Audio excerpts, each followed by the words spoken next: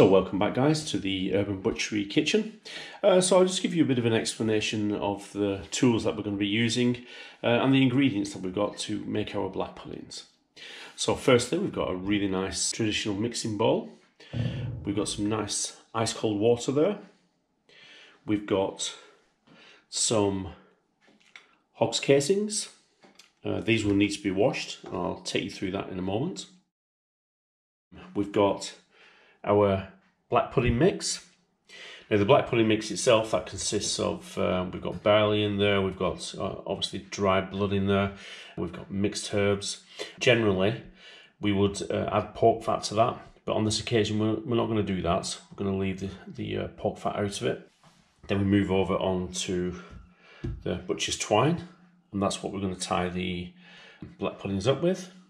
And last but not least, is what is a sausage stuffer, basically. Great piece of kit, that. Lovely. 1920s, excellent. So, let's crack on. So, first of all, what we need to do is to wash the hogs casings. So we get some nice fresh cold water going, just like so. Now, on this occasion, I'm going to take the sausage skins off the sleeve. This sleeve normally attaches to the end of the sausage filler and then you can run the skin straight onto the nozzle.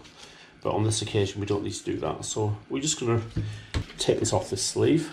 So we just push it down like so till it starts to come off. Must be quite careful doing this. These plastic bits are quite sharp so we don't want to rip the skin.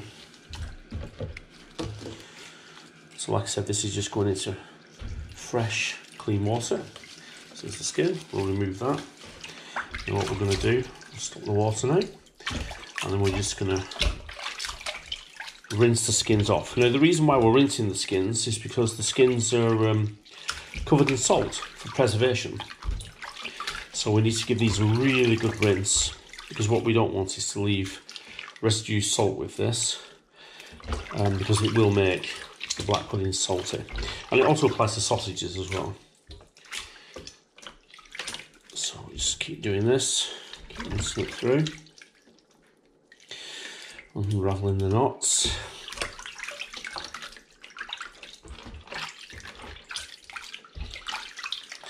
Like so. So we just take the skins out. Now this will be salty water, so we'll just pour that away. We'll run some more cold water. Just rinse that out. And we'll put the skins back in so.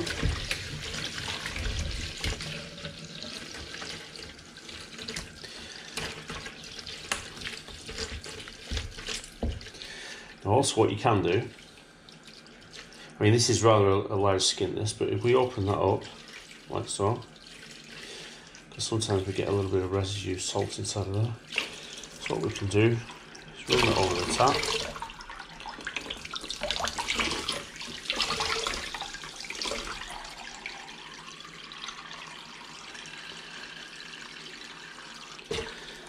turn the water off and then we'll just run this water down through the skin.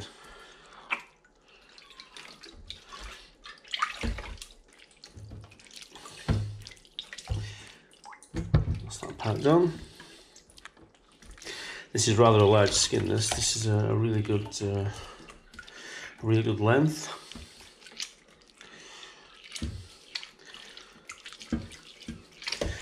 So this is a job that I used to do when I was uh, 17.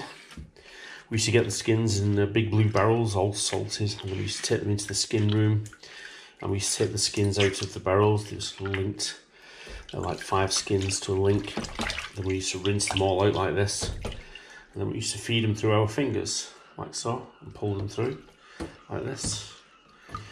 And then we used to put them into bowls, very similar to this, and leave them to soak in the fridge and then they'll be ready for the day after. So there's your uh, your hogs casings ready to go, desalted. Okay guys, so now we're going to uh, set to get our black pudding mix ready. As you see, here's the black pudding mix. So all the brown that you see in there is the mixed herbs and the salt and the pepper and the dried blood. We've also got barley in there, we've got some oats in there. mixed seasoning. Now this is a ready-made mix. Of course, when I did this back in the 80s, we used to mix our own up. And uh, a bit later on in the channel, I will do one from scratch. I've got a fantastic recipe for it, but we'll do that then. So first of all, we're going to add this into our big mixing bowl, like so.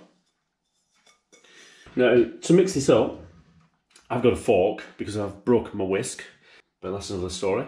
So what I'm going to do, I'm going to add this cold water into here. Not all of it, bit at a time. Now, because I'm going to be making like a small uh, bury or black pudding, uh, and I'm going to be putting it through the uh, the vintage sausage stuffer.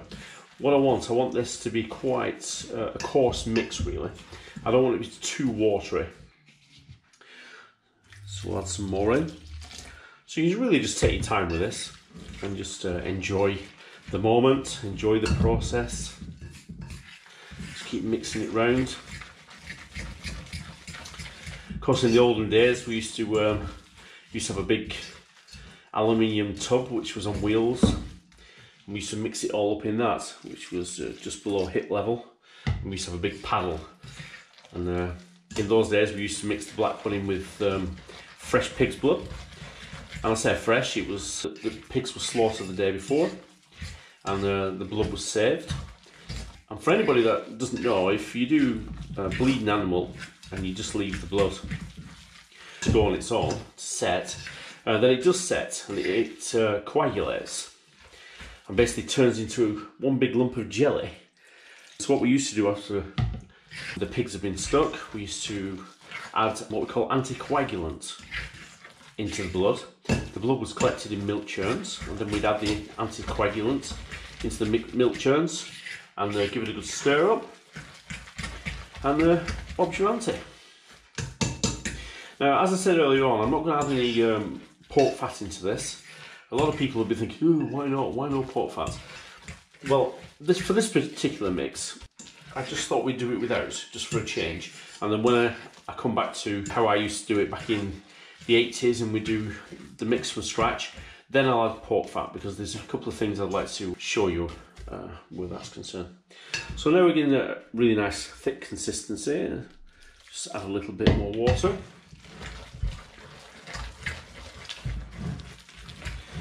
Just a view of it now. And of course, black pudding, very nutritious, full of iron. When I used to work in the black pudding room, and uh, hopefully I can show you a picture of the black pudding room during this video, um, back in the 80s. We used to have one of these for breakfast every morning. Back in the days when management of the food factory didn't mind if you had a little bit of this and a little bit of that. And it was wonderful. The first mix out of that boiler, the first black puddings was absolutely beautiful. So if we look at the consistency now, we're sort of getting there now. Just keep mixing that up. I mean, to be honest, I'm dying to get my hands in there and mix it up, but in the um, interest of hygiene, I won't do that. So I think we can just add a tiny bit more water and then it'll be ready for putting into the, the hog's casings. Of course, if you was to do black puddings properly, um, um, black pudding buries, you wouldn't be using hog's casings, you'd be using beef runners. When I do the uh, the next black pudding video, I will use beef runners and that will give us a proper sized bury. But this is really just to give you a basic understanding how the black pudding mixtures mixed up and uh, how to actually tie the black puddings. I mean, if we can get enough out of this, maybe we can link a few. We'll see how it goes. Okay, now I think that's a wonderful consistency that, as you see. You don't want it too sloppy. Now when we do fill the skins up, uh, we'll be making sure that, actually I will to touch my water, we'll be making sure that we don't overfill them because if they're too tight then they'll burst the skins and also when you cook them they'll burst in the pan as well. That's one thing I forgot to mention, we are going to cook these up as well. So maybe even have them for breakfast tomorrow morning. So there we go guys, there's your black pudding mix. And now, let's get ready for the stuffer. Okay, so the next step, what we're going to do, we're going to put the skins onto the nozzle of the stuffer. So what we do, we find the end, like this. And this is exactly the same with um, sausages as well. So we get two fingers inside of there and open it up. And then we get some water down into the skin. Then what we do, we get the nozzle, place that over the end. Another little urban butchery hack, if you wet this as well, and then start to put the skin onto the nozzle. And I've got to say that's going on lovely that. So we want to get as much as we can on.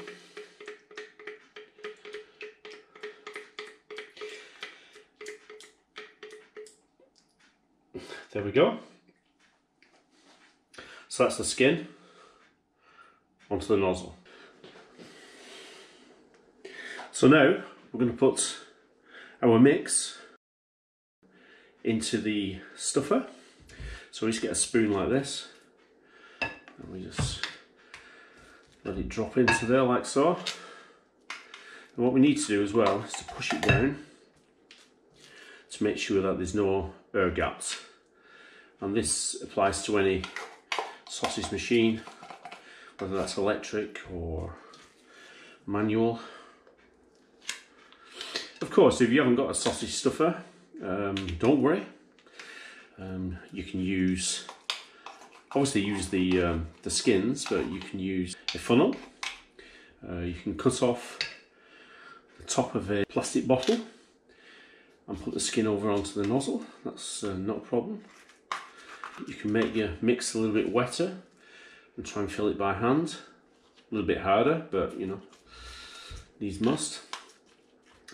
So, I'm just going to take a little bit out of there because we're now going to attach the plunger. There's a plunger. Of course, this is wood. You wouldn't get away with using this now, but I do like traditional tools.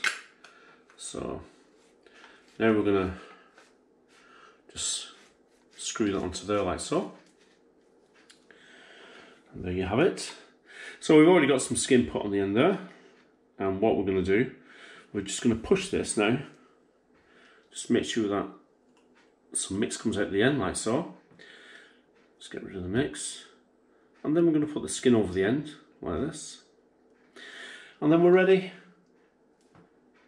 to stuff baby. So here we go guys. So if you remember, I made sure that that tube was full of the mix so that we have no air bubbles inside of there and inside of there.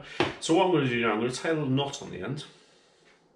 You always tie the knot after you've checked. That's it.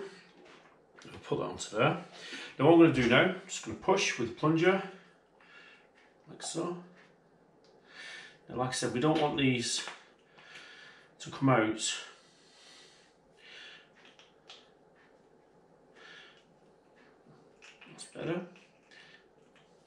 We don't want this to come out with not enough in it. And we also want it to be a little bit slack like that as well.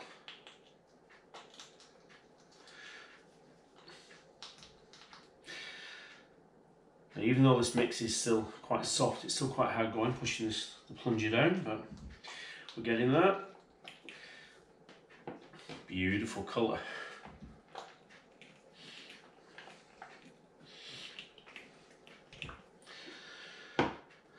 Pull that back on a little bit.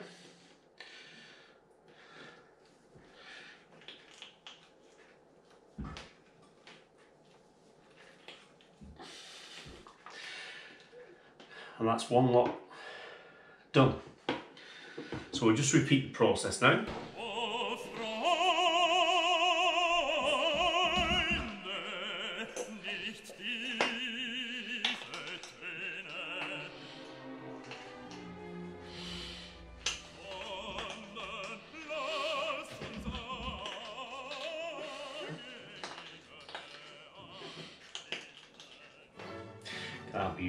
very satisfying this, especially doing it with this, wonderful.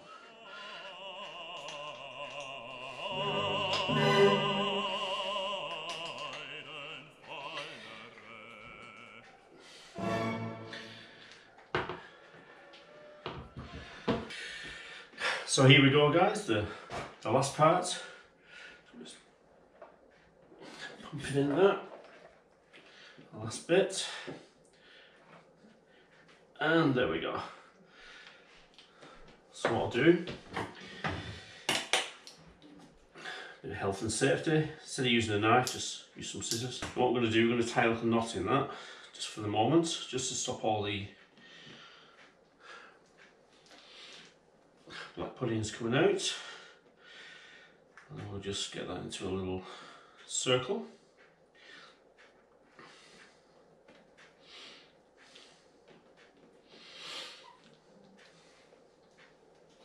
And there you have it. That's your black puddings all filled out. Now the next step is to tie them up. So we'll just move them to one side. So now I'm going to show you how to traditionally string a Lancashire black pudding. So we're going to change these into buries. And like I said, we would normally use uh, beef runners um, for this, for the skins. But uh, just for demonstration purposes, I'm using the hogs casings. So we place the string down there. So what we do, just unravel this this way. What we do, we make a black pudding, like so. Okay, then we get the string, wrap it round three times.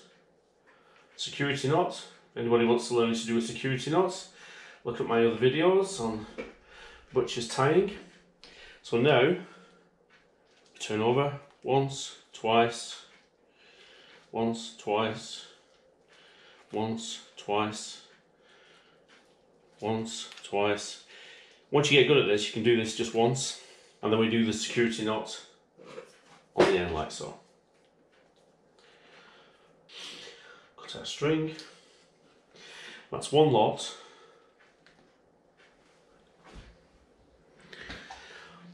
black puddings tied. What I'm going to do with these, I'm going to make them in to sausages. So we'll just put little knot on, twist, through, through, twist. And I will be doing a video on this um, later on we go down through the channel. And then link squeeze push through link and then through. So we've got some black pudding sausages there.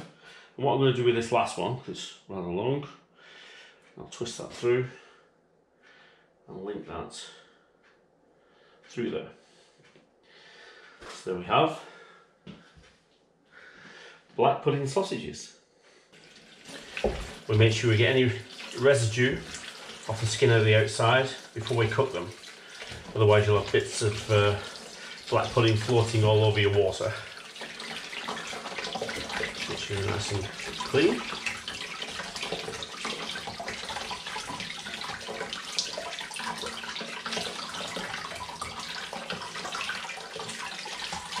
We'll just put them to one side. Exactly the same with the black pudding sausages.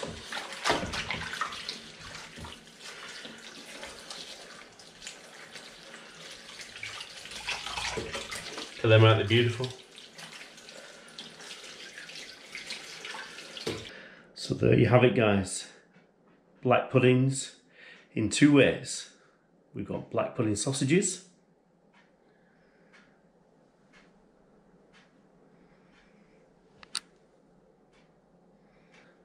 and we've got traditional Lancashire black pudding buries. Aren't they beautiful? In the next step, I'm going to show you how to cook them. I'm going to show you how to make them black.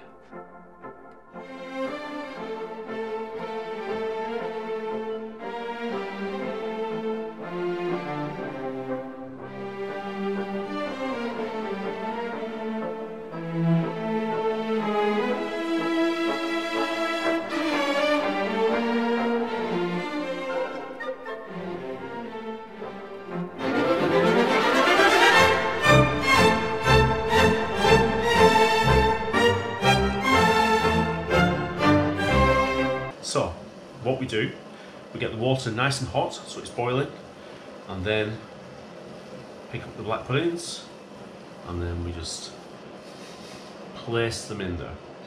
Now, what happens now, as you can see, that the water stopped bubbling, so it's because the black puddings are so cold, so it's cooled down the water. So what we need to do now, we need to bring it back to the boil, and then as soon as it comes back to the boil, what we'll do, we'll turn it off, and then we'll just leave it for about 40 minutes. So it's a little bit steamy now, but you can see that the black pudding has been brought back to the boil. So now we're going to turn that off now.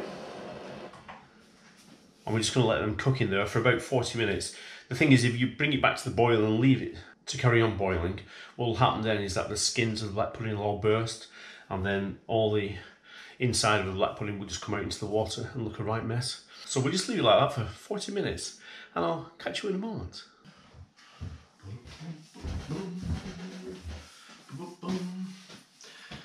Hello my little loves. Now then, let's have a look what's happening with these black puddings. So as we see, just take the lid off. They're looking handsome. Just get a wooden spoon, just stir them around a little bit. So this has been about 40 minutes now. And what generally happens when they're ready, they actually float to the top and that's how you can generally tell that they're cooked. Apart from the time, of course. Uh, if you used to do this at home, uh, I would probably recommend that you uh, use a thermometer. Uh, just make sure you've got uh, you know a good internal temperature. You know, 70 odd degrees, something like that. So we just stir it around. And then what we're going to do, we're going to take these bad boys out. So we'll just use the spoon and then just gently get underneath them. I, I can feel that they're really firm anyway, so then we'll just get them out. Look at them, and they're beautiful, beautiful Lancastrian black puddings. Just have a closer look at them. And they're beautiful. Sorry about the steam there, but absolutely beautiful. I remember in one of the shops that I used to work at in uh, Chorley, what they used to do is they used to uh, cook these up and then they would take them into the shop and make sure that all the smell went around the shop and then everybody would start buying them. Really lovely. Now, as I said, and as you can see, is that these black puddings are brown. Now, black pudding is called a black pudding because it's black. And now we're going to go and do the process which turns them black. So here we have it guys, we've got our cooked black pudding and we've got our secret ingredient. So what we're going to do, we've got some uh, some boiling water there, so we're going to add our secret ingredient. Going to give it a good stir up, then we're going to wait till this boils again and then the alchemy starts. Okay guys, here we go. So our water's uh, boiling away now. Now we've got to be very careful here that you just go in and hopefully you'll be able to see the change. As you can see they're just going black now. So we just stir this round. If we leave this in too long, what will happen is that the chemicals that are in here will melt away all the skin and then again everything will burst out and they'll be ruined. So I just give them a quick stir, but I think you can see there that they've changed colour already.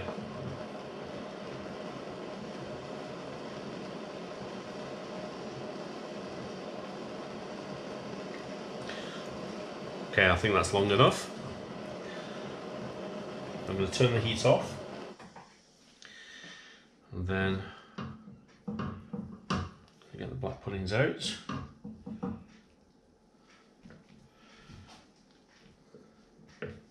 Just look at those beauties.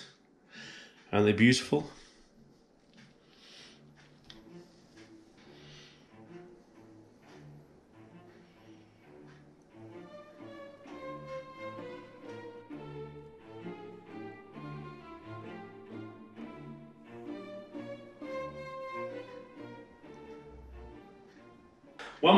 Darlings, I hope you enjoyed that video as much as I enjoyed doing it.